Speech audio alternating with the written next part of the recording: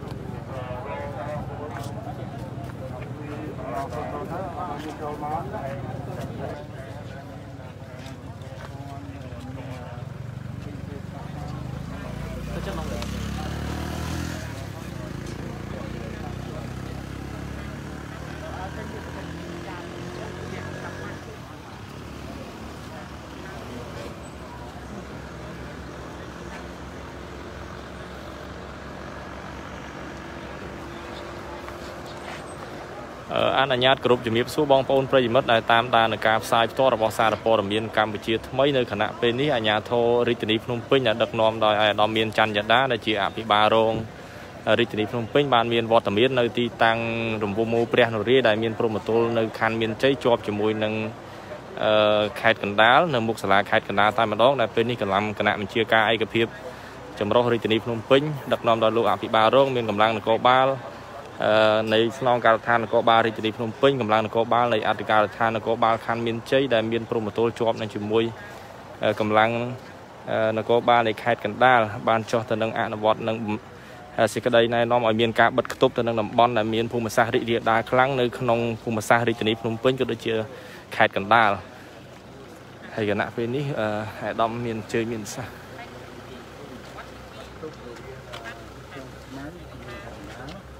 và du lịch mấy thì dân mạng thì mình cũng tôi crop cấm hai mươi quay du lịch bốn thì mình nhóm crop học lúa hai quay du lịch tám thì mình địa lý hai quay du lịch muối thì mình crop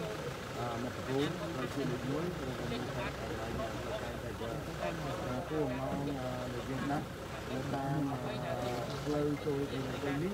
គឺយើងមិនឲ្យមានវិចារណជីវរដ្ឋអឺចេញចូលក្នុងវិញគឺចង់យើងអំពាវនាវទៅបងប្អូនជីវរដ្ឋនៅតាមផ្ទះរឿងរឿងខ្លួនដែលនេះគឺវិធានការបន្តដល់រៀបចំកិច្ចចាប់នៃការរៀបបាននៅក្នុងជីវិតរបស់យើងដែលកំពុងតែអឺវិនិយោគដល់ការវិនិយោគទៅបានបានសូមបងបន្ថែមតិចការបន្ទុកនេះរយៈពេល14ថ្ងៃបាទរយៈពេល14ថ្ងៃគឺគិតពីម៉ោង00ថ្ងៃទី15 រហូតទៅដល់ថ្ងៃទី28បងអាចទៅជួយថែមបងប្អូនពីកន្លែង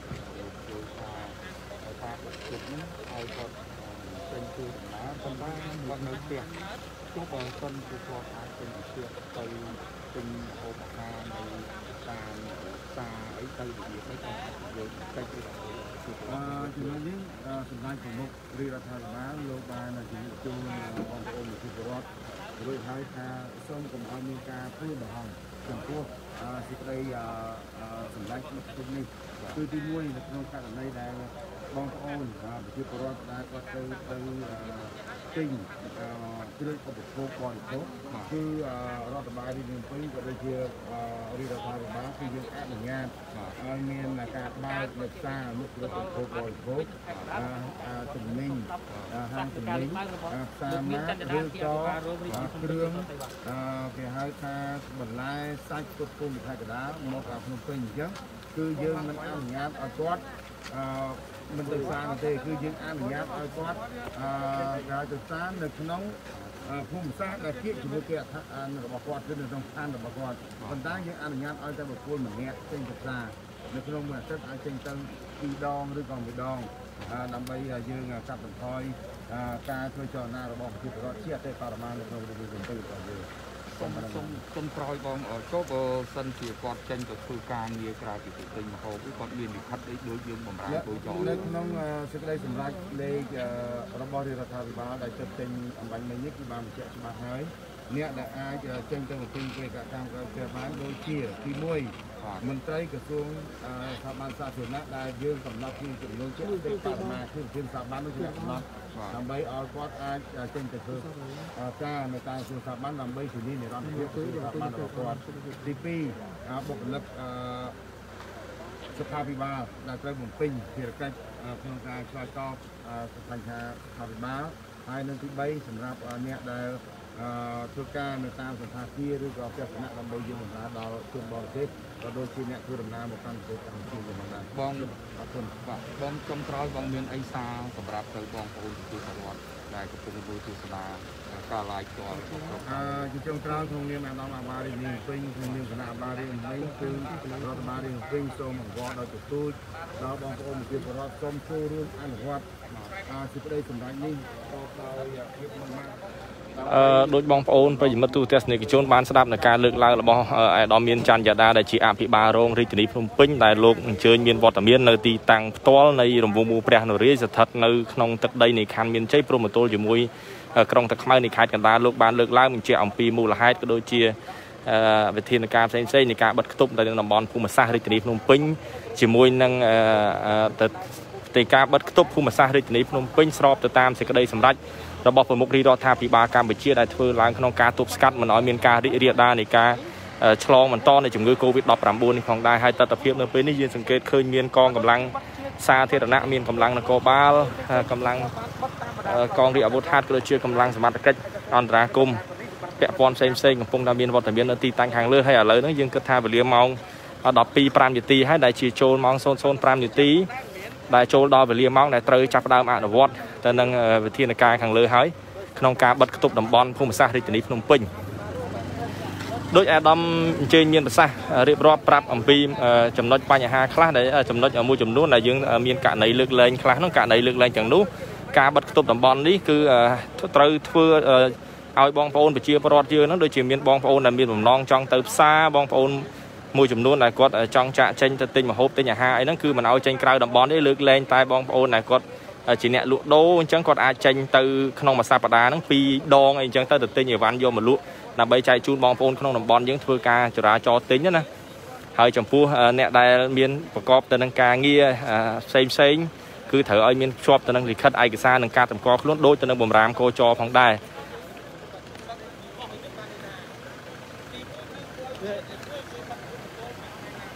ហើយឥឡូវនេះយើងសង្កេតឃើញថាកងកម្លាំងសាធារណៈមកពីក៏ដូចជាសមត្ថកិច្ចនគរបាលនៃខេត្តកណ្ដាលក៏បានត្រៀមលក្ខណៈខ្លួនរួចជាស្រេចក្នុងការបិទគប់មិនឲ្យមានបងប្អូនប្រជាពលរដ្ឋចេញទៅក្រៅតំបន់ផងដែរ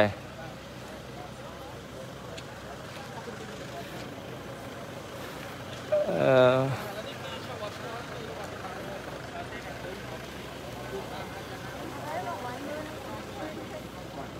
យើងមិនស្ងួតដៃគ្នាប្រយុទ្ធប្រឆាំង ជំងឺ Covid ទេបាទនេះយើងមកមើលទស្សនវិជ្ជានៅខាងនេះវិញម្ដងបងប្អូនប្រិយមិត្តទូទាំងសនិកជនមិញហ្នឹងបងប្អូន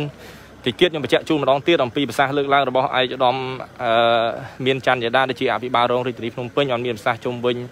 អឺការសម្រេចរបស់រាជរដ្ឋាភិបាលក្នុងការបិទគប់ភូមិសាស្ត្ររាជធានីភ្នំពេញនេះអញ្ចឹងទីទៀតខ្ញុំជំរាបជូនបន្ថែមទៀតក្រែងបងប្អូនខ្លះក៏ទៅអញ្ជើញចូលមើលមិនទាន់បានស្ដាប់ឥឡូវនេះកងកម្លាំងសាធារណៈរបស់យើងជាពិសេសកម្លាំងខណ្ឌមានជ័យកំពុងធ្វើការ បិទទៅនឹងភូមិសាស្ត្រមិនឲ្យមានការចេញចូលហើយបានន័យថានេះកន្លែងដែលយើងកំពុងឈរនេះគឺនៅព្រមទល់នៅខណ្ឌមានជ័យព្រមទល់ជាមួយនឹងក្រុងតាខ្មៅនៃខេត្តកណ្ដាលគឺនៅចំណុចទំពុំមូព្រះនរាផ្ទាល់តែម្ដងការបិទគប់នេះគឺធ្វើដោយមិនឲ្យបងប្អូនប្រជាពលរដ្ឋយើងដែលធ្វើដំណើរចេញពីមានជ័យមកមិនអាចចូលមកក្រុងតាខ្មៅនៃខេត្តកណ្ដាលទេហើយសម្រាប់ភូមិសាស្ត្រនៅខេត្តកណ្ដាលក៏បងប្អូន កងកម្លាំងមានសមត្ថកិច្ចអាជ្ញាធរសាធារណៈយើងធ្វើការបិទតំបន់ដែរគឺមិនឲ្យមានការចេញពីតាខ្មៅចូលមកខាងទឹកដីនៃខណ្ឌមានជ័យនៃរាជធានីភ្នំពេញផងដែរ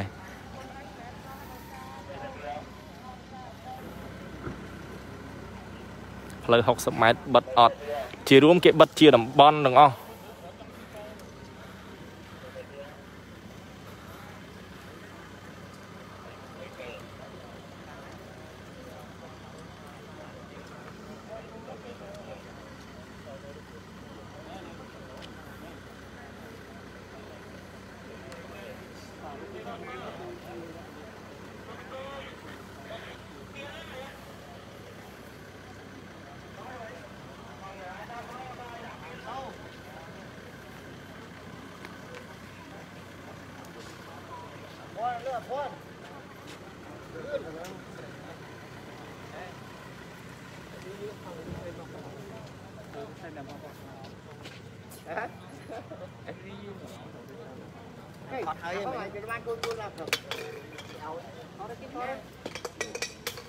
អូសួរមកបាទបងសួរតិចមកអត់ចូលឡាយទេចង់តែឥឡូវខ្ញុំចូលចូលមួយខាងខ្សែសុកអញ្ចឹងយើងបិទបិទមួយខាងខ្សែសុកដែរទេអាហ្នឹងបាទអូអញ្ចឹងក្នុងមូលដ្ឋានឋានយើងអត់ឲ្យចេញក្រៅសោះយល់យល់បាទបាទ តរូបគេហ្នឹងគេឡាយលើខ្ញុំចង់ជំរាបជូនបងប្អូនអ្នកទេសនាថាបន្តិចអំពីការបិទគប់តំបន់ភូមិសាស្ត្រនេះអាជ្ញាធរនៅតាមតំបន់នីមួយៗបានន័យថាការចរាចរចេញពីខណ្ឌមួយចូលទៅខណ្ឌមួយគឺត្រូវបានបិទគប់ដោយអាជ្ញាធរមូលដ្ឋានខណ្ឌនីមួយៗហ្នឹងគឺបិទគប់នៅភូមិសាស្ត្ររបស់ខ្លួនបានន័យថាឥឡូវហ្នឹងឧទាហរណ៍នៅក្នុងខណ្ឌមានជ័យគាត់ព្រមទទួលជាប់ជាមួយខណ្ឌណាខ្លះឥឡូវហ្នឹងជាប់ជាមួយនឹងខាងតាខ្មៅគឺបិទមិនឲ្យចូលទៅតាខ្មៅ ជាប់ជាមួយនឹងខណ្ឌច្បារអំពៅខណ្ឌចកាមូនខណ្ឌណាដែលមានព្រមទទួលជាប់ជាមួយគាត់គាត់ត្រូវធ្វើការបិទភូមិសាស្ត្រនឹងតែម្ដងនៅក្នុងភូមិសាស្ត្ររបស់គាត់ហើយខណ្ឌនីមួយៗនៃខណ្ឌនៃនៃនៃភូមិសាស្ត្រផ្សេងទៀតដែលស្ថិតនៅក្នុងដែនគ្រប់គ្រងរបស់រាជធានីភ្នំពេញហ្នឹងក៏ធ្វើការបិទតំបន់ភូមិសាស្ត្រអញ្ចឹងដូចគ្នាផងដែរបានន័យថាមិនឲ្យមានការចេញចូលពីតំបន់មួយទៅតំបន់មួយទេពីខណ្ឌមួយទៅខណ្ឌមួយទេនេះគឺស្ថិតនៅក្នុងក្របខណ្ឌរាជធានីភ្នំពេញ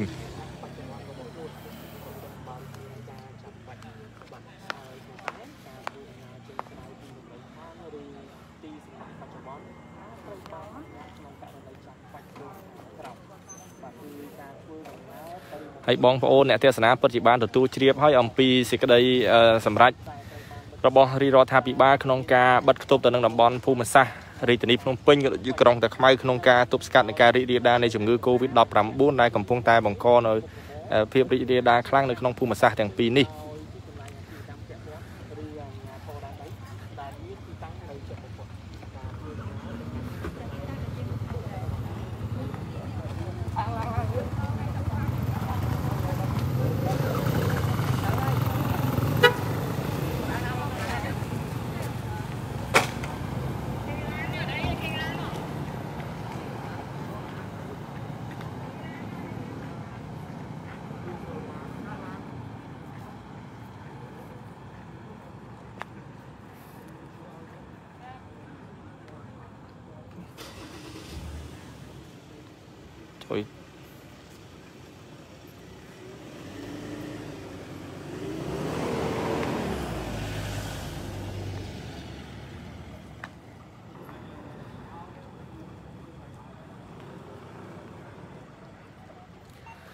ឥឡូវនេះអាជ្ញាធររាជធានីភ្នំពេញដឹកនាំដោយអាដាមមានច័ន្ទយ៉ាដាលោកអញ្ជើញ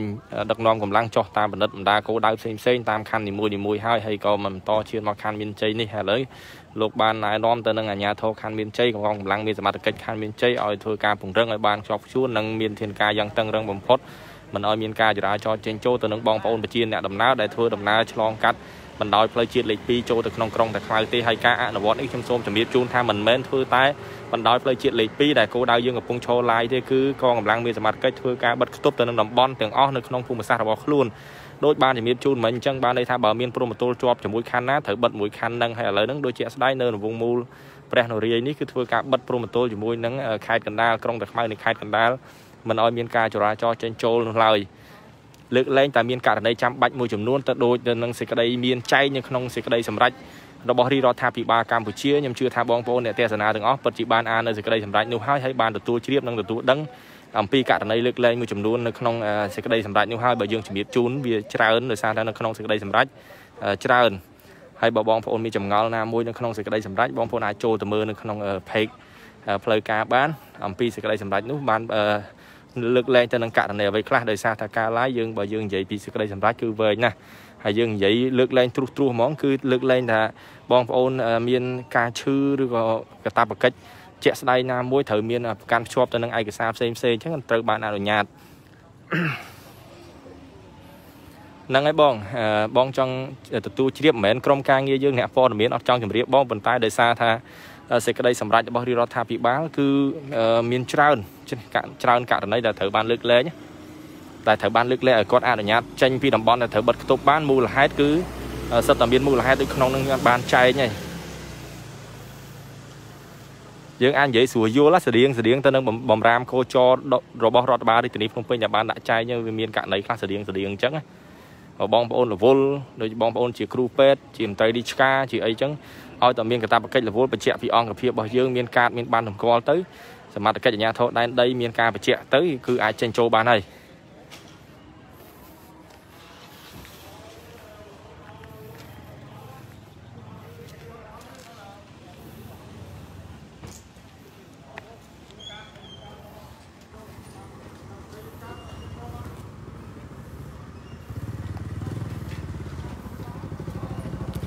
ឡាយនៅណា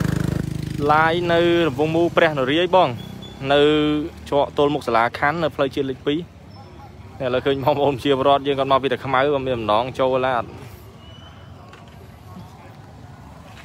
សេចក្តីថ្លែងបំរាមកោចអីអត់នាំគ្នាមើលមើលជួបគ្នា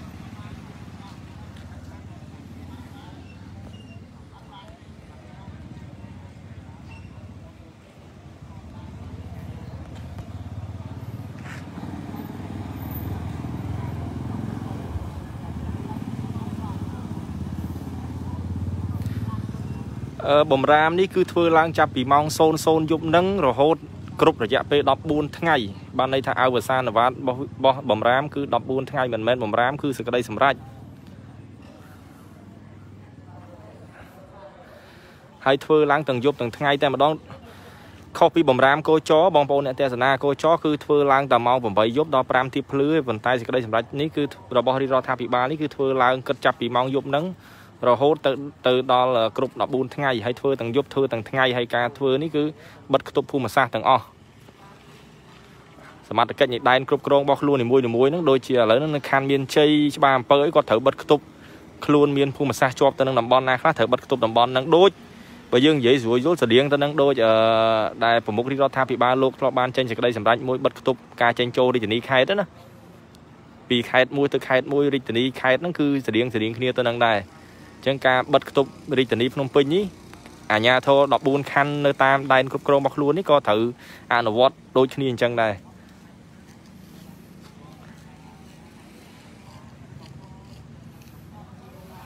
បងបើយើងអត់មានការការអត់មាន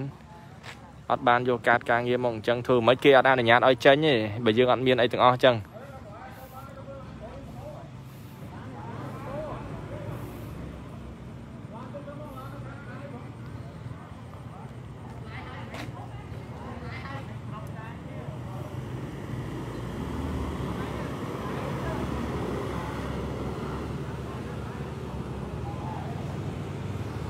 បិ ទទេតែរក្សាកម្រិត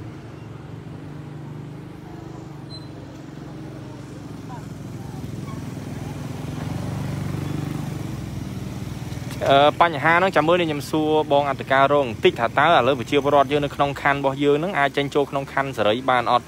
ចាំមើលខ្ញុំសួរគាត់បញ្ហាហ្នឹងបន្តិចខ្ញុំជំរាបជូនបងប្អូនវិញណាខ្ញុំអត់ច្បាស់កន្លែងហ្នឹងដែរសង្ឃឹមថាមានការលើកលែងភាសា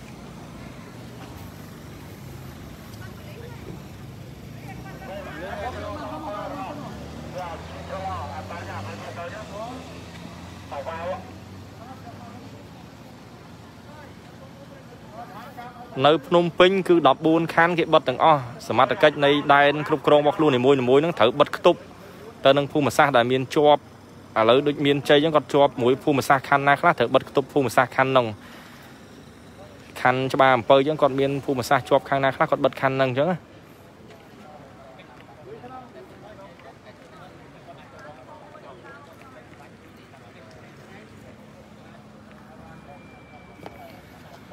ហេ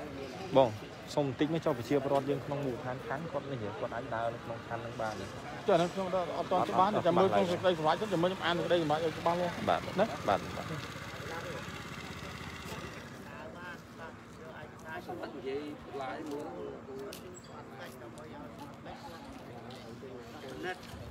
ដឹកអីវ៉ាន់អនឡាញបែបឯកជនបានអត់ បងខ្ញុំធ្វើការយប់ហើយឥឡូវគេទៅបិទអញ្ចឹងស្អែកពេលព្រឹកខ្ញុំចេញទៅផ្ទះនៅតែខ្មៅកើតអត់បងធ្វើការអញ្ចឹងបងឲ្យបញ្ជាក់ពីអង្គភាពបងមកបងបញ្ជាក់ពីអង្គភាពប្រធានអង្គភាពរបស់បងមកហើយមានការសម្គាល់ទៅហើយយើងបញ្ជាក់ជូនគេពីលទ្ធភាពជាក់ស្ដែងទៅបានន័យថាឥឡូវបងរវល់ការងារអញ្ចឹងហើយបង មានកតាបកិច្ចមិនមិនទៅគេអាចមានការលើកលែងខ្លះហើយណាมันជាកំហិត100%ទេ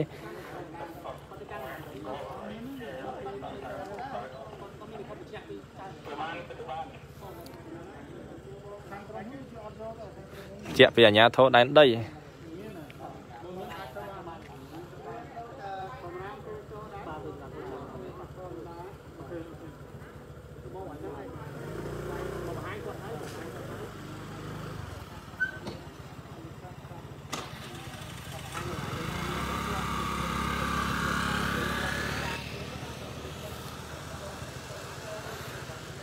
បងបងអាចចូលទៅមើលនៅក្នុងសេចក្តីសម្រេចជាចាំមើលខ្ញុំមើលឲ្យអស់សិន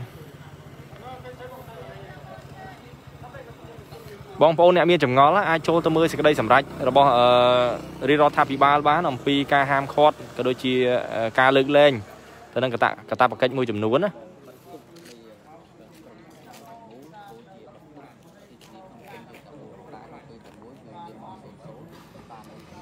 ខ្ញុំចាំអត់អស់ដែរខ្ញុំចាំតែចំណុចគោលគោលដែលជាចំណុចសំខាន់សំខាន់ណាដល់ចំណុចខ្លះទៅខ្ញុំមានកតាឆក់ល្វែងខ្លះដូចជាខ្ញុំក្តោបអត់អស់ដែរដោយសារសេចក្តីសម្រេចនៃការលើកលែងមួយចំនួនហ្នឹងក៏ច្រើនអញ្ចឹងហើយខ្ញុំចាំអត់អស់អញ្ចឹងបងប្អូនអ្នកទេសនាអធិស្ឋានផងបងសុំសួរបន្តិចពេលថ្ងៃក្នុងពេលដំណើរបានអត់គឺការហាមឃាត់ធ្វើអញ្ចឹងដូចគ្នាទាំងអស់ពេលថ្ងៃក៏ត្រូវធ្វើដែរ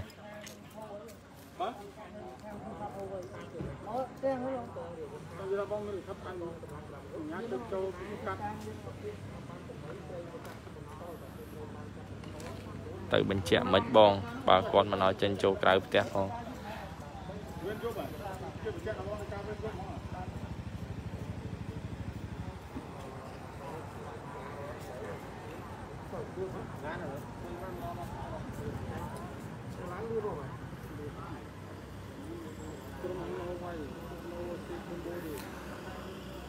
14ខណ្ឌគឺអាជ្ញាធរនៅក្នុងមូលដ្ឋានខណ្ឌរបស់ខ្លួននីមួយៗនឹងបិទគប់ទៅតាមខណ្ឌដែលខ្លួនគ្រប់គ្រងណាជំរាបជូនបងប្អូនអញ្ចឹងបងប្អូនពីជ្រួយចវាចង់មកមានជ័យមកអត់រួចទេគ្រាន់តែចេញពីជ្រួយចវាមកព្រមទល់ត្រឹមខណ្ឌណាគេបិទត្រឹមខណ្ឌហ្នឹងតែម្ដងអញ្ចឹងចង់ជំរាបជូនជារួមអញ្ចឹង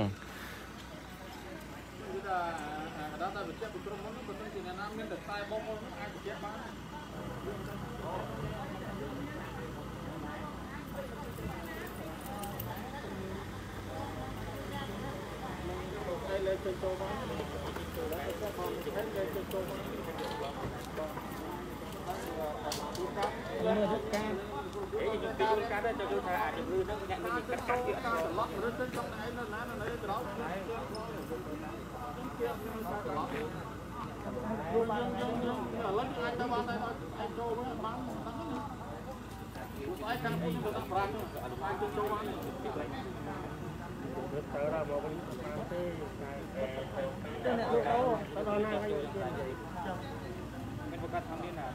បានជិះទៅមិនបានចូលបានទេមកទៅពេញទៅទៅទៅចូលចូលទេរួចទេស្ដាប់សំឡេងអ្នកបកប្រែព័ត៌មានក៏ដឹងសង្ហាដែរចុះអ្នកលក់បន្លែវិញបង ដូចខ្ញុំបានជំរាបជូនបងប្អូនអ្នកទេសនាអញ្ចឹងឥឡូវហ្នឹងការអនុវត្តជាក់ស្ដែងនេះខ្ញុំឆក់ល្វែងចំណុចមួយខ្ញុំខ្ញុំកន្លែងនេះជាមួយខ្ញុំព្យាយាមសាកសួរព័ត៌មានឲ្យបានហើយខ្ញុំចង់បញ្ជាក់ជូនបងប្អូនកន្លែងនេះដល់បងប្អូនទូទៅឆ្ងល់ច្រើនណាថាតើមូលឥឡូវហ្នឹងតាមសេចក្តីសម្រេចរបស់រាជរដ្ឋាភិបាលគឺបិទគប់តំបន់ភូមិសាស្ត្ររាជធានីភ្នំពេញពីខណ្ឌ1ទៅខណ្ឌ1បានន័យថាអាជ្ញាធរតំបន់នៅក្នុងខណ្ឌនីមួយៗត្រូវគ្រប់គ្រង កតាបកិច្ចរបស់ខ្លួនមិនឲ្យមានការឆ្លងខណ្ឌនីមួយៗឬក៏ឆ្លងទៅខេត្តណាដែលមានព្រំទល់ជាប់ជាមួយនឹងខណ្ឌនឹងទេហើយជាក់ស្ដែងបងប្អូនច្រើនណាសួរថាឥឡូវហ្នឹងប្រជាពលរដ្ឋក្នុងខណ្ឌរបស់ខ្លួនហ្នឹងដែលរស់នៅក្នុងខណ្ឌឥឡូវថាខណ្ឌមានជ័យហ្នឹងថាតើគាត់អាចចេញដើរហើរនៅក្នុងមូលដ្ឋានខណ្ឌហ្នឹងបានទេកន្លែងហ្នឹងខ្ញុំសួរបងអន្តការរងមិញគាត់ថាអត់ទាន់បានច្បាស់ដែរហើយខ្ញុំក៏អានបំរាមសំទោសអានសេចក្តីសម្រេចហ្នឹងដូចជាអត់ទាន់អឺ ច្បាស់100%ទេបញ្ហាកន្លែងហ្នឹងចាំមើលខ្ញុំសួរព័ត៌មានឲ្យបានច្បាស់ខ្ញុំព្យាយាមសួរចំណុចហ្នឹងហើយខ្ញុំបញ្ជាក់ជូនបងប្អូនអ្នកទេសនាដើម្បីទទួលជ្រាបឲ្យយើងបានដឹងថាយើងអាចចេញពីផ្ទះបានឬអត់ហើយបើចេញបានក្នុងកម្រិតណាវិសាលភាពប៉ុណ្ណាអីយ៉ាងម៉េចណាបញ្ហាកន្លែងហ្នឹងខ្ញុំសឹងនឹងបញ្ជាក់ជូនហើយបើកាន់តែជ្រាបទៅច្បាស់បងប្អូនអ្នកទេសនាអាចជួយចូលទៅមើលនៅក្នុងសេចក្តីសម្រេចប្រមុខរាជរដ្ឋាភិបាលកម្ពុជាបានដែលបានចេញនៅយប់ហ្នឹង ហហើយខ្ញុំជឿថាបងប្អូនអ្នកទេសនាទាំងអស់បានទទួលជ្រាបហើយអំពីការចេញទៅនឹងសេចក្តីសម្រេចរបស់រាជរដ្ឋាភិបាលយើងអញ្ចឹងពេលខ្លះខ្ញុំមើលអត់អស់ដែរដោយសារគាត់ចេញច្រើនដោយសារនៅក្នុងសេចក្តីសម្រេចគឺច្រើនហើយខ្ញុំចាំតែចំណុចគោលទូទ្រោះមួយចំនួនអញ្ចឹងបញ្ហាខ្លះក៏ខ្ញុំអត់បានស៊ីជម្រៅអញ្ចឹងណា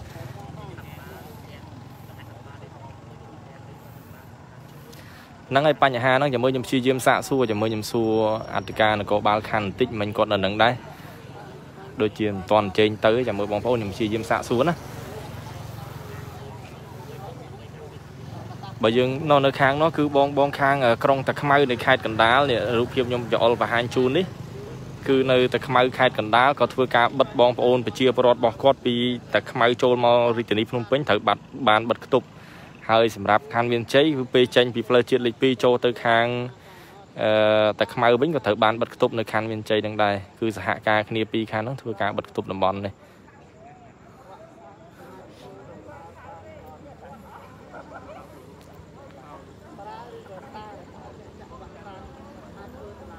រោងចក្រធ្វើការអត់បងចំពោះរោងចក្របិទឬបើកអានឹងខ្ញុំអត់ដឹងទេបងប្អូនអ្នកទេសនាចុះបើធ្វើការនៅពលាន មកផ្ទះនៅតែខ្មៅជីកតាម2004 271និងផ្លូវជាតិលេខ2មិនដែរបងដូចខ្ញុំបានបញ្ជាក់ជូនបងប្អូនអ្នកទេសនាអញ្ចឹងគឺគេបិទតំបន់បិទតំបន់មិនឲ្យមានការចេញចូលតំបន់ភូមិសាស្ត្រទៅបានរាំងខ្ទប់ទេប៉ុន្តែក្នុងករណីបងមានឯកសារពាក់ព័ន្ធបញ្ជាក់ពីសមីក្រុមហ៊ុនរបស់ខ្លួនថាមានកាតព្វកិច្ចចាំបាច់ត្រូវតែបំពេញ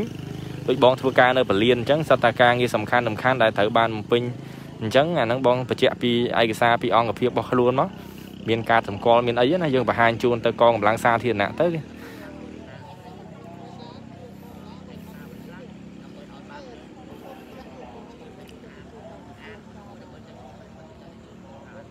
มันអាចចេញពីផ្ទះបានទៅទិញម្ហូបពីសប្តាហ៍មិនអនុញ្ញាតឲ្យចេញផ្ទះបើមិនចាំបាច់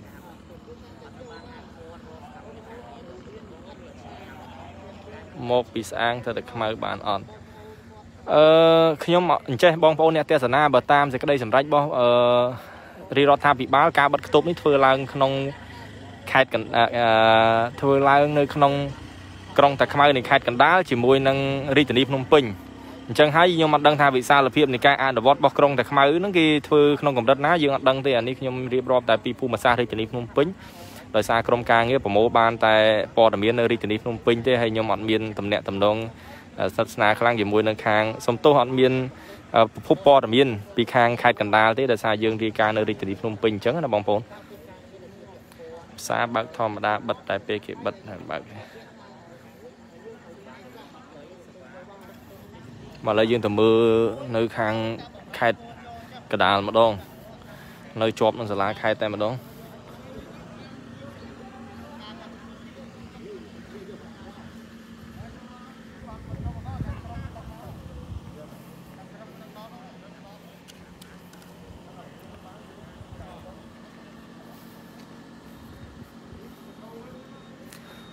ហើយមូលហេតុដែលខ្ញុំអត់បានជំរាបជូនបងប្អូនអំពីបំរាមសំទោសអំពីសេចក្តីសម្រេចរបស់រាជរដ្ឋាភិបាលហើយខ្ញុំចេះតែឲ្យបងប្អូនចូលទៅមើលនៅក្នុង page ផ្លូវការមួយចំនួនណាដោយសារតែបើខ្ញុំជំរាបជូនបងប្អូននឹងខ្ញុំកាន់ទូរស័ព្ទអានដដែលទេព្រោះសេចក្តីសម្រេចនឹងគឺច្រើនទាំងករណីលើកលែងទាំងករណីហាមឃាត់បើបងប្អូនចង់ឲ្យខ្ញុំជំរាបជូនខ្ញុំយកមកអានដដែលទេអញ្ចឹងនាំតែខាតពេលវេលាបងប្អូនចាំស្ដាប់ហើយខ្ញុំត្រូវចំណាយពេលចាំអានអញ្ចឹងទៅ វាពិបាកតដែតដើតអញ្ចឹងអាចបងប្អូនមើលចប់ពីការ live ហើយបងប្អូនអាចចូលទៅមើលនៅក្នុងផេកផ្លូវការរបស់រាជរដ្ឋាភិបាលយើងរបស់សាលាក្រុងអីហ្នឹងអំពីបំរាមទាំងអស់ហ្នឹងបានហើយបងប្អូនអាចអានហើយបងប្អូនមានមន្ទិលឆ្ងល់កន្លែងណាអីកន្លែងណានៅក្នុងហ្នឹងបានសម្រាយជូនបងប្អូនជ្រាបផងដែរ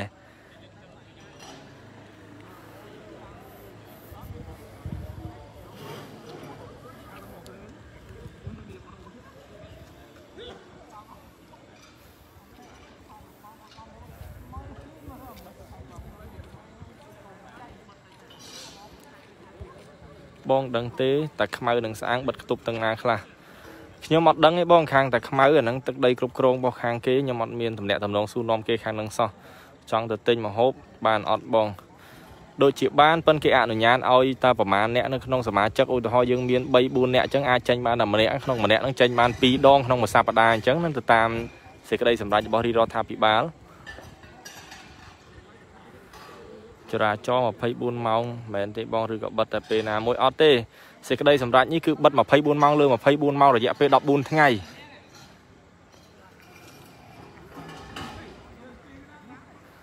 សុំសួរមួយនៅចាក់រ៉េត្រូវទៅបឹងកេងកងគេឲ្យយើងតើឈប់ខមមិនបងប្អូនលោតលឿនពេកតែអញ្ចឹងខ្ញុំអានអត់តន់អធិស្ឋានផងបងប្អូនអ្នកទេសនាបើសិនជាមើលអត់តន់ខ្ញុំចូលទៅមើលនៅក្នុងការ live មួយទៀតសិន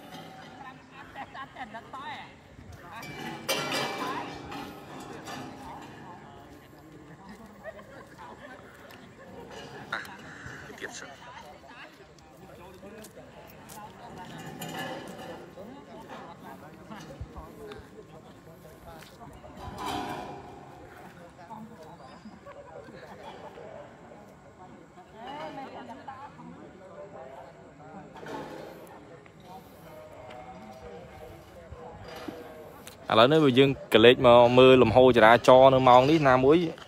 យើងអាចនិយាយបានថាម៉ោងដែលអត់មានឡានម៉ូតូធ្វើដំណើរដោយសារម៉ោង12:30នាទីម្លងអត្រៀតហើយ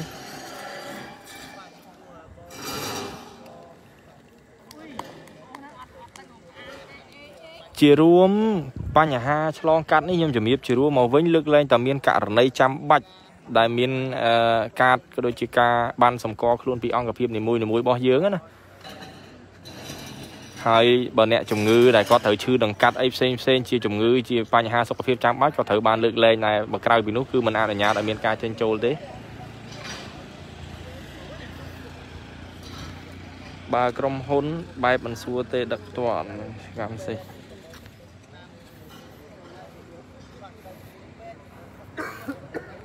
ហើយរូបភាពនេះគឺកម្លាំងនគរបាលនៃស្នងការដ្ឋាននគរបាលខេត្តកណ្ដាល ដូចជាកម្លាំងនគរបាលក្រុងតាខ្មៅគាត់បិទការចរាចរចេញបិទគប់តំបន់ចេញពីខាងតាខ្មៅនៃខេត្តកណ្ដាលចូលមកខាងទឹកដីនៃខណ្ឌមានជ័យអ្នកសួរហេតុអីមិនមើលក្នុងសេចក្តីសម្រេច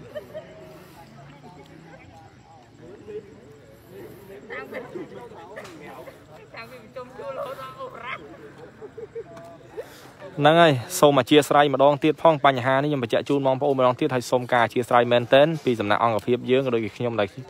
កំពុងធ្វើការ live ផ្ទាល់ទីខ្ញុំសូមការអធិស្ឋានត្រង់ចំណុចដែលបងប្អូនសួរមួយចំនួនធំហ្នឹងណាដោយសារតែខ្ញុំអឺពិបាកនឹងចូលអានសេចក្តីសម្រេចនឹងជូនបងប្អូនវិញព្រោះសេចក្តីសម្រេចច្រើនអញ្ចឹងមានតែអំពាវនាវឲ្យបងប្អូនអញ្ជើញចូលទៅមើលនៅក្នុងសេចក្តីសម្រេចរបស់ប្រមុខរដ្ឋាភិបាលកម្ពុជាយើងអាចចូលតាមរយៈ page ផ្លូវការឬក៏ page របស់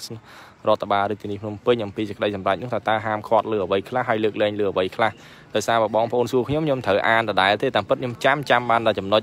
គោលគោលធំធំទេដល់ពេលអញ្ចឹងចំណុចមួយចំនួនខ្ញុំចាំអត់អស់ខ្ញុំត្រូវចូលទៅមើលឲ្យអានជូនបងប្អូនវិញដដែលវាខាតពេលពិបាកទាំងបងប្អូនស្ដាប់ពិបាកទាំងខ្ញុំអង្គុយឆែកមើលឲ្យជូនបងប្អូនវិញទៀតព្រោះឥឡូវហ្នឹងអង្គុយមើលខមមិនបងប្អូនខ្ញុំអាចជំរាបជូនចំណុចខ្លះអាចតាមដែលខ្ញុំអាចជំរាបទៅបានទៅណា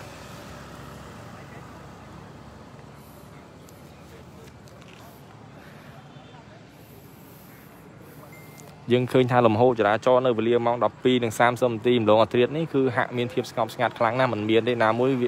វេលាម៉ោងនេះយើងអាចនិយាយបានថាជាវេលាម៉ោងដែលបងប្អូនប្រជាពលរដ្ឋកំពុងលងលក់ក្នុង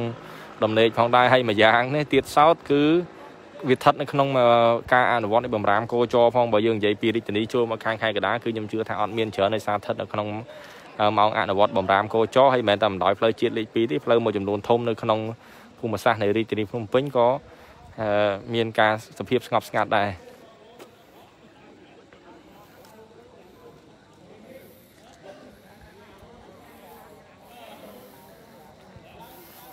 អូយើងសង្កេតឃើញមានវត្តមានលោកពេជ្រកែវមនីដែលជាអភិបាលខណ្ឌមានជ័យលោកអញ្ជើញនៅមានវត្តមាននៅទីតាំងខាងលើដែរដើម្បីពិនិត្យការអនុវត្តបិទគប់ទៅនៅតំបន់ភូមិសាស្ត្រតាមសេចក្តីសម្រេចរបស់រាជរដ្ឋាភិបាល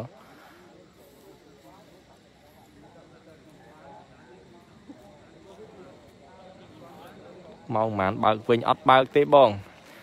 ការអនុវត្តបិទគប់តំបន់ភូមិសាស្ត្រនេះគឺធ្វើចាប់ពីម៉ោង12យប់នេះរហូតគ្រប់មក14ថ្ងៃហើយធ្វើទាំងថ្ងៃទាំងយប់រហូតគ្រប់14ថ្ងៃ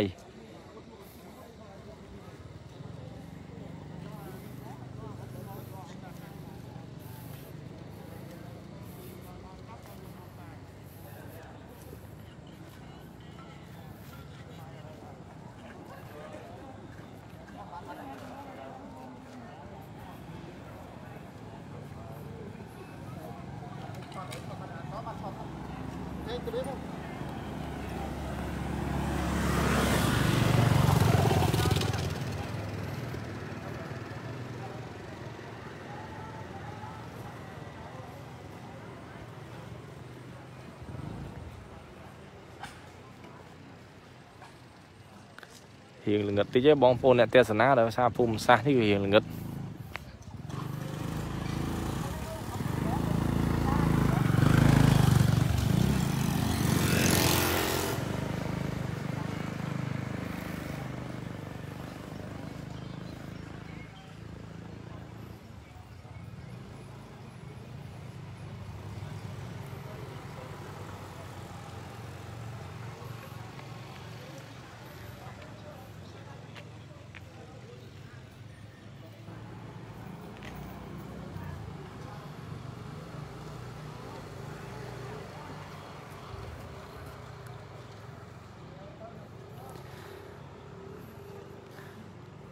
ហើយយើងនៅធ្វើការ live បន្តទៀតអំពីទស្សនវិជ្ជាជាក់ស្ដែងនៃតំបន់នេះហើយស្អែកយើងនឹងបន្តធ្វើការផ្សាយជូនបងប្អូនអ្នកទេសនានៅវេលាព្រឹកឡើងថាតើលំហូរចរាចរណ៍ក្រោយមានការបិទគប់តំបន់ភូមិសាស្ត្រមិនឲ្យមានការចេញចូលនៅតំបន់ដែលត្រូវបានហាមឃាត់ដោយរាជរដ្ឋាភិបាលចេញសេចក្តីសម្រេចបិទតំបន់នេះតើតើលំហូរចរាចរណ៍នៅវេលាស្អែកដែលជាវេលាពេលព្រឹកដែលជាវេលាម៉ោងរដ្ឋបាលដែលបងប្អូនប្រជាពលរដ្ឋយើងចេញពីតំបន់មួយទៅតំបន់មួយក្នុងការអញ្ជើញ ទៅធ្វើការតាមតំបន់នីមួយៗក្នុងកាតព្វកិច្ចរបស់ខ្លួននោះថាតើនឹងវិវត្តទៅយ៉ាងណាហើយមានប្រជាពលរដ្ឋច្រើនយ៉ាងណាដែលត្រូវឆ្លងកាត់ភូមិសាស្ត្ររាជធានីភ្នំពេញចូលទៅក្រុងតាខ្មៅនៃខេត្តកណ្ដាលពីតំបន់មួយទៅតំបន់មួយនឹងវិវត្តយ៉ាងណានោះស្អែកយើងនឹងបន្តធ្វើការ live ជូនបងប្អូនទស្សនាអំពីដំណើរការនៃវិធានការបិទគប់តំបន់តាមសេចក្តីសម្រេចរបស់ប្រមុខរាជរដ្ឋាភិបាលកម្ពុជាដែលបានដាក់ចេញធ្វើឡើងក្នុងការទប់ស្កាត់នៃការរីករាលដាលនៃជំងឺ Covid-19 ដែលកំពុងតែបង្កហានិភ័យខ្ពស់ដល់សង្គមជាតិយើងនាពេលបច្ចុប្បន្ននេះដោយតែបងប្អូនបានទទួលជ្រាបហើយ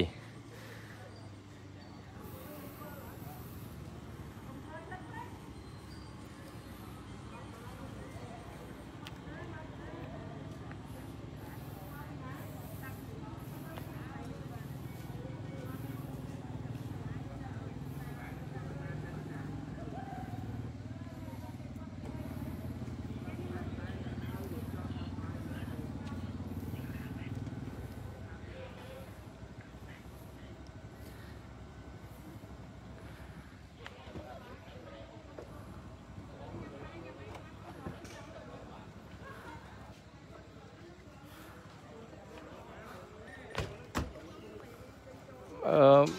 បងប្អូនដែលស្ថិតនៅតាមបណ្ដាខណ្ឌផ្សេងផ្សេងបងបងប្អូនអាចទៅតាមគោលដៅនីមួយនីមួយនៅនិយាយទៅខណ្ឌផ្សេងផ្សេងក្រៅពីខណ្ឌមានជ័យនេះក៏គេដាក់បរាសបិទតាមតំបន់អញ្ចឹងដែរបិទការចេញចូលខណ្ឌរបស់គេមិនឲ្យមានការចេញហើយក៏មិនឲ្យមានការចូលទៅតាមខណ្ឌនោះដែរប៉ុន្តែបើមានការណាមួយដែលត្រូវតម្រូវឲ្យចេញចូល ប៉ូលីសដែលយាមនៅតាមតំបន់នឹងបញ្យល់បងប្អូនប្រាប់អំពីមូលហេតុនិងករណីលើកលែងអ្វីខ្លះដែលតម្រូវឲ្យមានការចេញចូលហើយបើបងប្អូនចង់ជ្រាបកាន់តែច្បាស់បងប្អូនអាចអញ្ជើញចូលទៅទស្សនាក៏ដូចជាទៅមើលនៅក្នុងអនុក្រឹត្យសំទោសមើលទៅក្នុងសេចក្តីសម្រេចរបស់ប្រមុខរាជរដ្ឋាភិបាលកម្ពុជានៅក្នុងផេកផ្លូវការរបស់លោកឬក៏នៅក្នុងផេករដ្ឋបាលរាជធានីភ្នំពេញឬតាមរយៈបណ្ដាញសារព័ត៌មានផ្សព្វផ្សាយផ្សេងៗក៏ដូចជាអង្គភាពយើងក៏បានផ្សព្វផ្សាយផងដែរអំពីសេចក្តីសម្រេចទាំងនោះតែបានដាក់ចេញនៅវេលាម៉ោងខ្ទង់11 នៅវេលាម៉ោង7:11យប់នេះ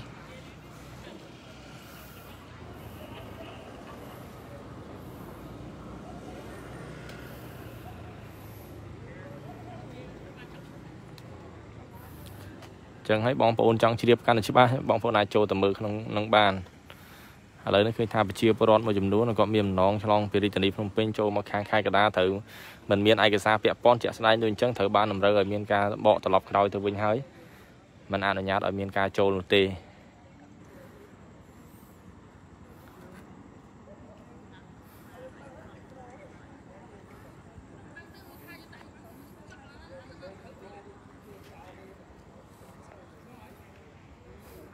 ឃើញថានៅវេលាម៉ោងជាង12នេះ12និង40នាទីនេះលំហូរចរាចរណ៍ទៅមកគឺស្ងប់ស្ងាត់ហើយបងប្អូនដែលជាម៉ោងរដ្ឋបាលប្រជាពលរដ្ឋជើងកំពុងលងលក់ក្នុងដំណេក អ្នកខ្លះទៅគាត់ហត់នឿយនឹងការងារហត់នឿយនឹងការរកស៊ីទៅជាវេលាដែលគាត់ត្រូវសម្រាកណាមួយគឺវាស្ថិតនៅក្នុងម៉ោងអនុវត្តនិងបំរាមគោចររបស់អាជ្ញាធររាជធានីភ្នំពេញដែលហាមប្រាមមិនអោយបងប្អូនប្រជាអ្នកដំណើរយើងនឹងធ្វើដំណើរចន្លោះចាប់ពីម៉ោង8ដល់ម៉ោង5ទៀបភ្លឺផងដែរសម្រាប់ការទិញម្ហូបគឺអាចបានបងនៅក្នុងសមាជិករបស់បងតិចឬច្រើនអាចបានម្នាក់ឬពីរនាក់អញ្ចឹងទៅតាមសមាជិកតិចឬច្រើនហើយនៅក្នុងនោះឃើញថា ស្ថិតក្នុងបំរាមគឺអាចចេញទិញបានដល់2ដងក្នុងមួយសប្តាហ៍ទេស្ដាយដល់បុនค่ะ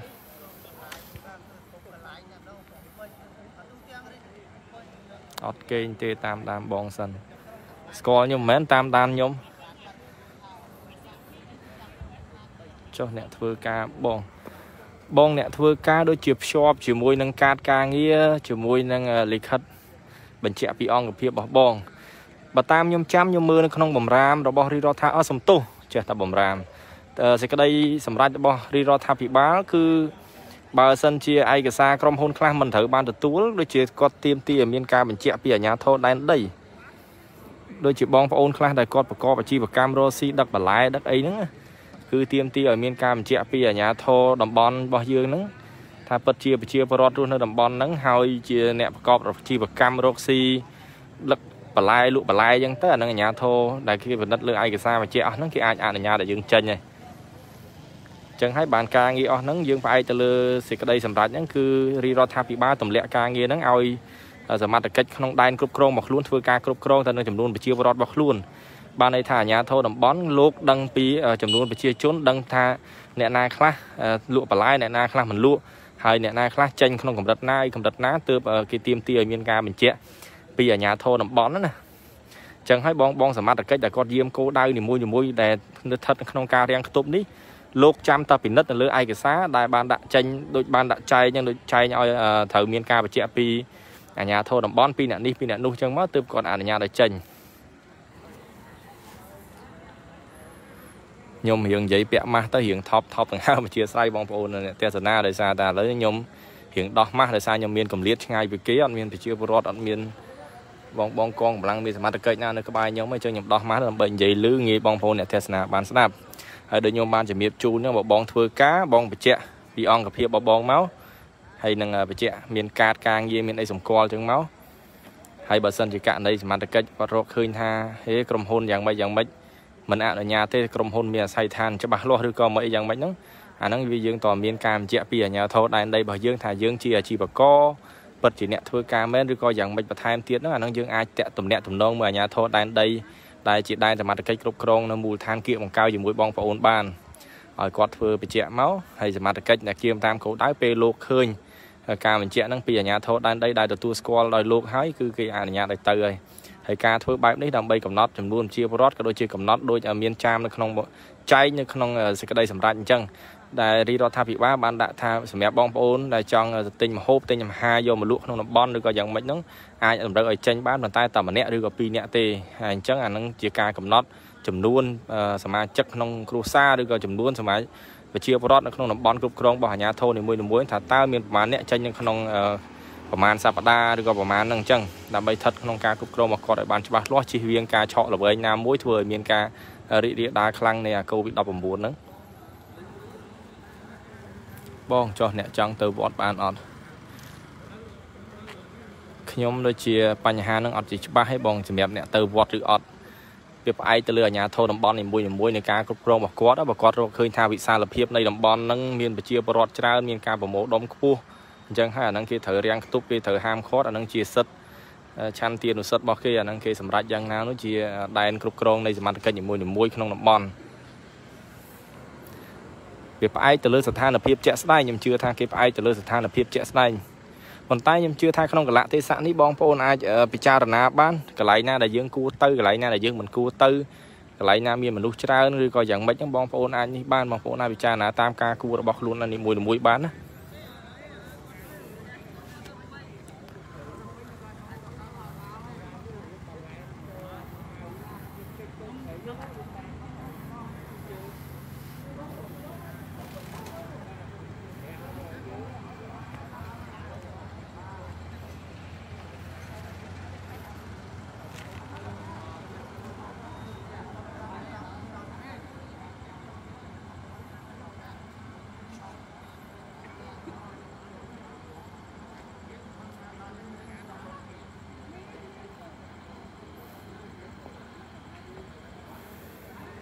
ហើយរូបភាពយើងធ្វើការ live នេះគឺពី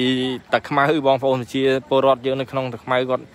ពេលខ្លះមិនមែនគាត់ចេញពីតាខ្មៅចឹងគាត់ជាប្រជាពលរដ្ឋរស់នៅក្នុងតាខ្មៅនៃខេត្តកណ្ដាលទេបងប្អូនគាត់អាចមានកាតព្វកិច្ចណាមួយចូលទៅហើយតែពេលឥឡូវគាត់ត្រូវចេញមកវិញអញ្ចឹងណា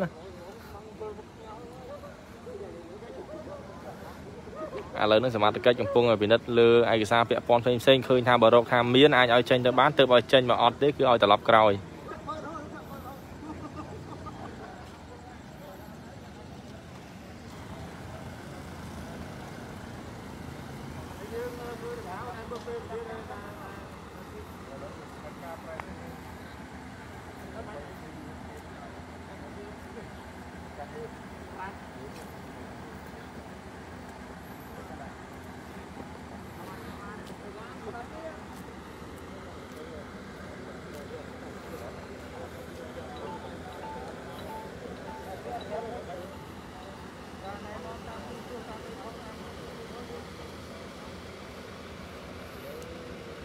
ហេតុអីមិនជំរាបដំណឹងមុនមុនការបិទនេះជាការសម្រេចដោយពិនិត្យឃើញថាការរីករាលដាលនៃជំងឺ Covid-19 នេះគឺរីករាលដាលខ្លាំងបងប្អូនប្រជាពលរដ្ឋសូមមានការយកយល់មិនមែនខ្ញុំគណៈព័ត៌មាននេះនិយាយជួសមុខឲ្យរាជរដ្ឋាភិបាលទេប៉ុន្តែខ្ញុំគិតថាវាមកពីមូលហេតុនឹងច្រើនជាងរហូតដល់តែយើងត្រូវតែធ្វើការបិទហើយការបិទនេះមិនមែនមិនជូនដំណឹងមុនទេគឺជូនដំណឹង1ម៉ោងមុនប៉ុន្តែត្បិតតែការជូនដំណឹងយប់មែនប៉ុន្តែវាស្ថិតនៅក្នុងធរៈវេលាបន្ទាន់មួយ តែទប់ស្កាត់ត្រូវតែទប់ស្កាត់ជាបន្ទាន់បើយើងតាមពិនិត្យឃើញថាស្ថានភាពជាក់ស្ដែងហើយសម្ដេចនិយាយលោកអញ្ជើញមានប្រសាសន៍សុំទោសសឡំអធិស្ឋានចំពោះការនិយាយខុសមិញលោកមានអញ្ជើញមានប្រសាសន៍យប់មិញនេះគឺថាឥឡូវនេះថ្ងៃនេះរកឃើញមាន300នាក់ទៀតហើយអ្នកវិជ្ជមានកូវីដ19ចឹងហើយតួលេខនៃការរីករាលដាលនេះចេះតែកើនខ្លាំងកើនខ្លាំងរហូតដល់រកឃើញថាភូមិសាស្ត្រដែលបានធ្វើការបិទគប់នេះគឺក្រុងតាខ្មៅនៃខេត្តកណ្ដាលនិងរាជធានីភ្នំពេញនេះគឺជាភូមិសាស្ត្រដែល មានការរីករាលដាលខ្លាំងទើបរាជរដ្ឋាភិបាលសម្រេចធ្វើការបិទគប់តំបន់ទាំងអស់នេះតែម្ដងទៅ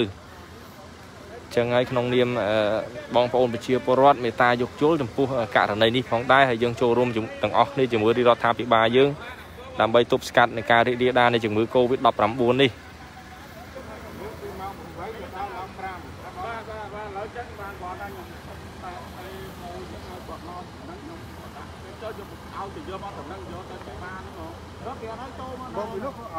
ពេញគេអត់ឲ្យចូលវត្តខ្ញុំខ្ញុំនៅថាខ្ញុំសុំទៅថាទៅយកមកដល់តំណឹងខ្ញុំសុំបាក់ដោតំណឹងយកទៅឲ្យចូលទៅវត្តគេយកវត្តអត់ឲ្យយកវត្តគេឲ្យយកទៅយកបានហ្នឹងណាតាមយើងអាចសុំទៅទៅ បងប្អូនជាពលរដ្ឋដែលស្គាល់ដូរនៅផ្ទះបានបានអាចយកបានអឺដោយសារមកកិច្ចអាជ្ញាធរគឺអត់មានការកោះប្រាប់យើងហើយថាបងប្អូនណាដែលគាត់មានគឺគឺគឺបើបើបើហើយក្នុងមូលដ្ឋានហ្នឹងអញ្ចឹងហើយបងប្អូនដែលលោកបាទអឺតែវាគុំវាគុំមិនអត់ត្រូវផងណាបាញ់ អត់ដូចពុំនិយាយនេះលក់សម្រាប់តែអ្វីខ្ចប់ជូនអតិថិជនតែមិនអត់មកគឺអ្វីខ្ចប់ជូនអតិថិជនទេគឺមិនអនុញ្ញាតឲ្យធ្វើការញ៉ាំនៅកន្លែងទេគាត់ថាធ្វើពន្លឺសិនទៅចាំដល់ថ្ងៃបាទគឺមិនមែនបាត់ទៅត្រឹមដល់ម៉ោង5ទេបាទគឺមិនមែនត្រឹមពីម៉ោង20បាទបើនិយាយទៅក្នុងមួយថ្ងៃគាត់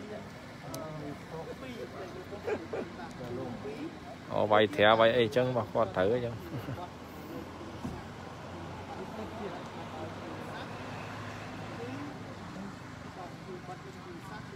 ឥឡូវនេះអឺ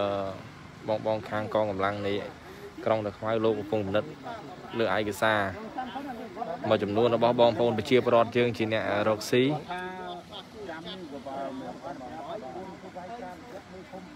បាទបាទ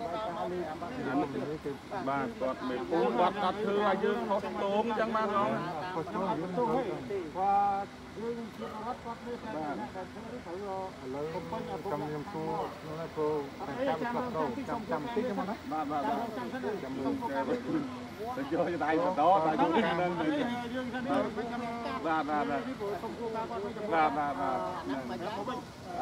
បាទ បាទគាត់ខ្លួនគាត់តែគាត់គាត់ទុកមុខបាទចង់រងចាំទីសិនណាបាទបាទបាទបងបងកងកម្លាំងមានសមត្ថកិច្ចកំពុងអនុញ្ញាតឲ្យបងប្អូនប្រជាពលរដ្ឋយើងនេះដែលជាអ្នករស់ស៊ីគាត់បានមកដល់ឥឡូវមានលិខិតមួយចំនួនដែលលិខិតខ្លះមិនប្រក្រតីអញ្ចឹងណាប៉ុន្តែយ៉ាងណាមិញជាក់ស្ដែងគាត់រងចាំបទបញ្ជាពីថ្នាក់លើសិនថាតើឯកសារនឹងអាចអនុញ្ញាតឲ្យទៅបានឬក៏យ៉ាងណា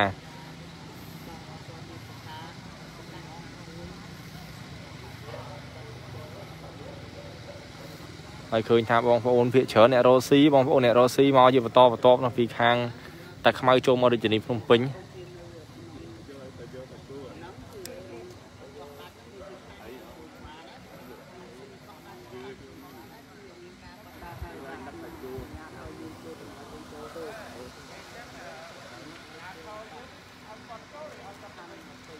អត់ទាន់ដល់ទេមានរងចាំមើលមើលដាក់ទៅទូមើល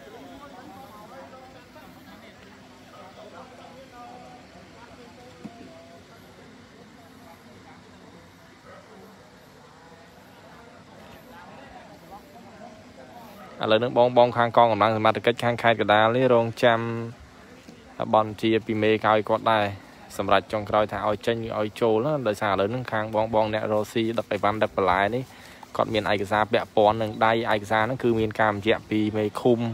តំបន់នីប៉ុស្តិ៍នៅតំបន់របស់គាត់ណាបញ្ជាក់ឲ្យមានការចេញចូលនៃការដឹកអីវ៉ាន់ដឹកអីអញ្ចឹងតែឥឡូវនេះខាងនេះអត់ទាន់សម្រេចទេខាងខេត្តកណ្ដាលគាត់កំពុងរងចាំ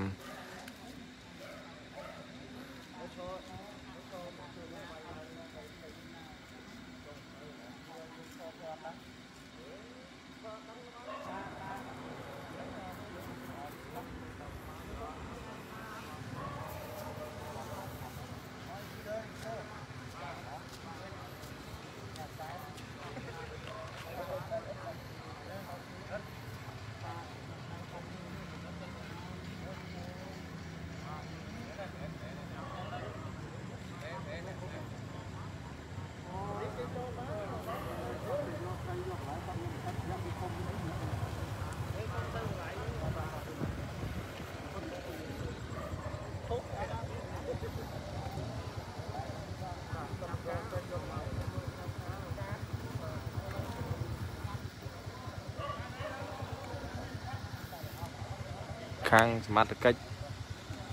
អង្គរៈក៏ខាត់ដែរឲ្យមានកាតមានអីបានឲ្យចេញ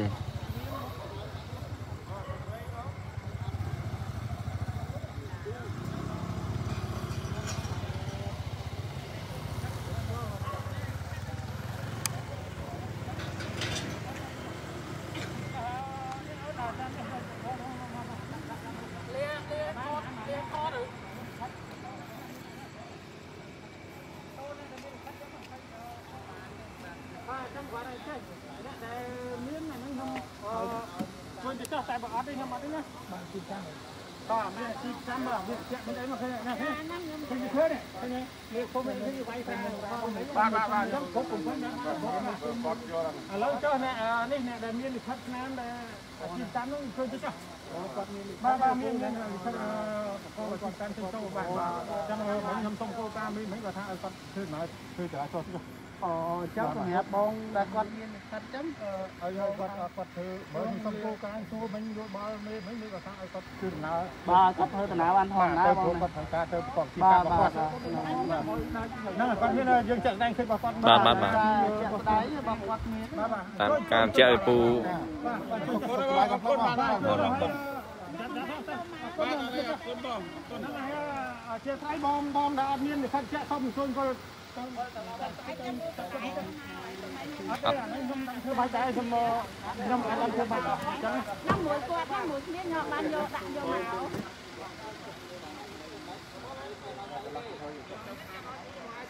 ខ្ញុំខ្ញុំធ្វើបាច់ដែរគោលការណ៍យើងបានកាត់ទាំងអស់គ្នាណាហ្នឹងដល់ខ្ញុំធ្វើបាច់ដែរព្រោះអ៊ីមែនរស់ស៊ីមួយថ្ងៃឯងបញ្ជាក់គេឲ្យហើយទៅអាចដឹកបានរហូត ទៅទៅតាមនេះទៅបើយើងវាចឹងបើគោលការណ៍វាត្រូវ តម្រូវចឹងអញ្ចឹងចាក់ថ្ងៃអញ្ចឹងយ៉ាបូយអហើយបងឯងឲ្យវាយឲ្យគាត់ចេះវាយប្រើបានគ្រប់មើលមើលបងគេឃើញគេវាយប្រ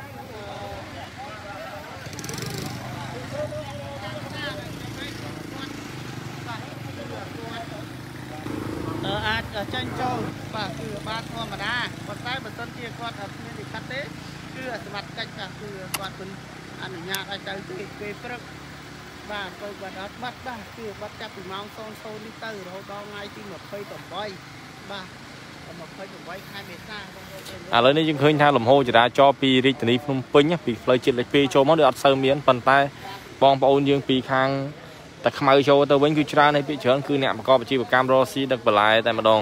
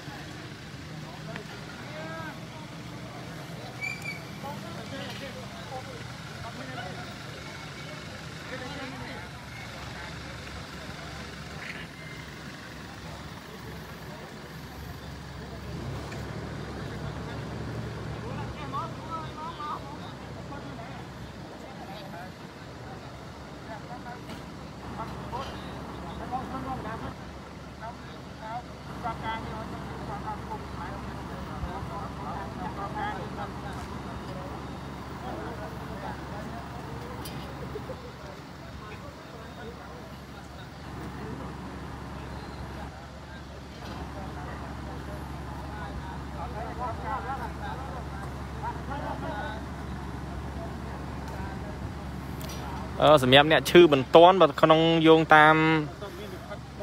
បាទបាទទូបាទបាទបាទទូបាទ សម្រាប់អ្នកអឺឈឺបន្ទាន់គឺបងអាចចេញទៅបានក្នុងករណីចាំបាច់ដែលអាជ្ញាធរតំបន់ក៏ដូចជាសមត្ថកិច្ចនគរដៅនីមួយៗពិនិត្យឃើញថាពិតជាឈឺមែនគឺធ្វើការអនុញ្ញាតឲ្យនឹងទៅជាក់ស្ដែង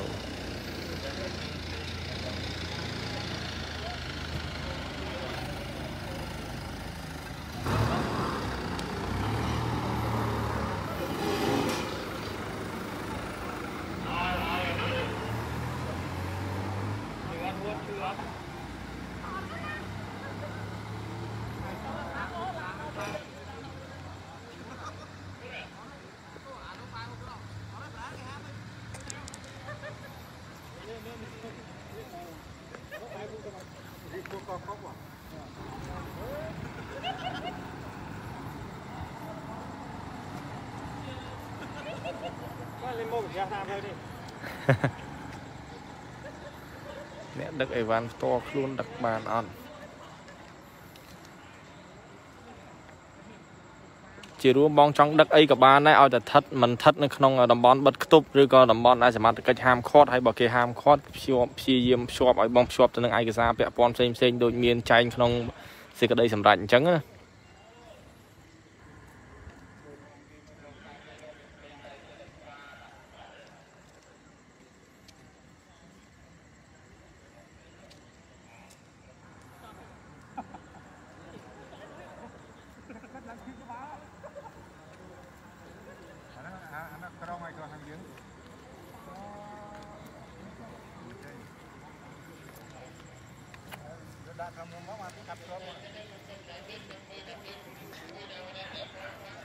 ឥឡូវនេះយើងទៅមើលខាងមានជ័យវិញម្ដង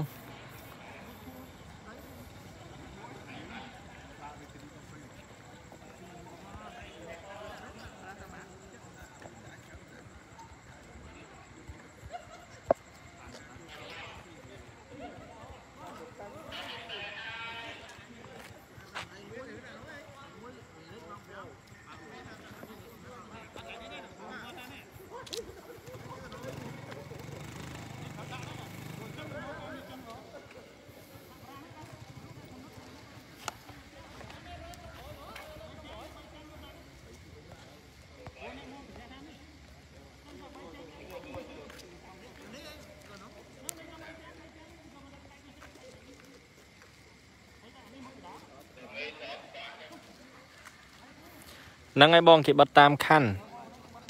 បណ្ដាភូមិសាស្ត្រខណ្ឌនីមួយៗហ្នឹងគឺអាជ្ញាធរមានសមត្ថកិច្ចក្នុងខណ្ឌរបស់ខ្លួនហ្នឹងត្រូវបិទគប់ខណ្ឌរបស់ខ្លួនមិនឲ្យមានការចរាចរចេញចូលទៅតាមខណ្ឌផ្សេងផ្សេងទេ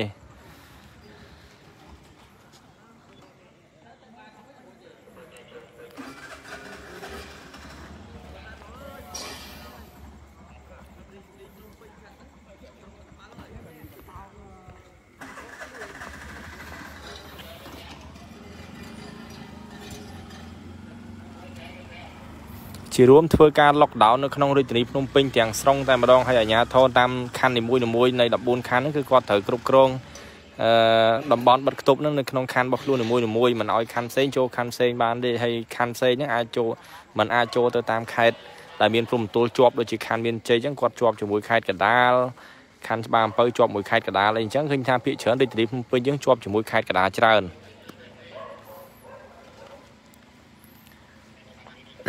អ្នកនៅតែខ្មៅលឹះម៉ោង8ចាប់អត់ខ្ញុំអត់ដឹងថាខាងតាខ្មៅគេអនុវត្តបំរាមកោចដូចនៅរាជធានីភ្នំពេញឬយ៉ាងណាទេបង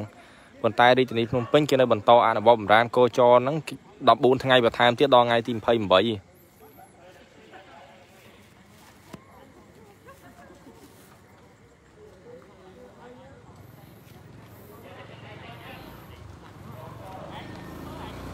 ច្បារអំពើបិទអត់បិទបងបិទ ការអនុវត្តហ្នឹងគឺសមត្ថកិច្ចអាជ្ញាធរតំបន់នីមួយៗនៅខណ្ឌនីមួយៗបិទក្នុងដែនគ្រប់គ្រងរបស់ខ្លួនរៀងៗខ្លួន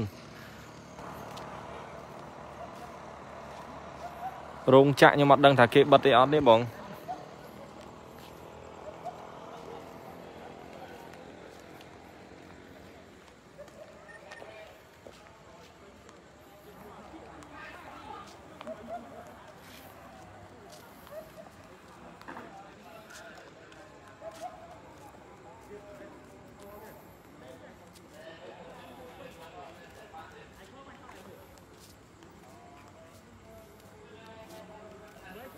តាកែវគេបិទអត់បងសម្រាប់ការចេញចូលរាជធានីខេត្តខេត្តចូលខេត្តហ្នឹងតាមពិតបំរាមហ្នឹងបានចេញតាំងពី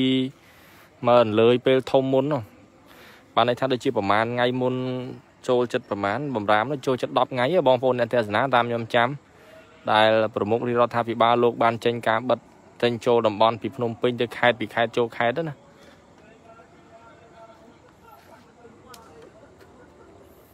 បំរាមកោចរនៅតែអនុវត្តដដែលបានន័យថារដ្ឋបាលរាជធានីភ្នំពេញគាត់សម្រេចបន្ត14ថ្ងៃទៀតគិតចាប់ពីយប់ហ្នឹងទៅដល់ថ្ងៃទី28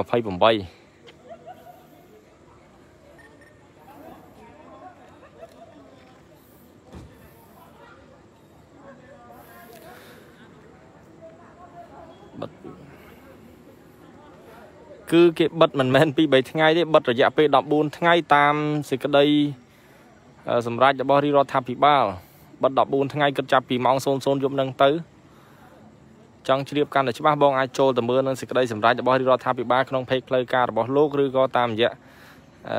page រដ្ឋបាលរាជធានីភ្នំពេញឬអាចទៅមើលអង្គភាពរបស់យើងក៏បានដែរឬក៏អង្គភាពបណ្ដាសារព័ត៌មានផ្សេងផ្សេងជាច្រើនទៀត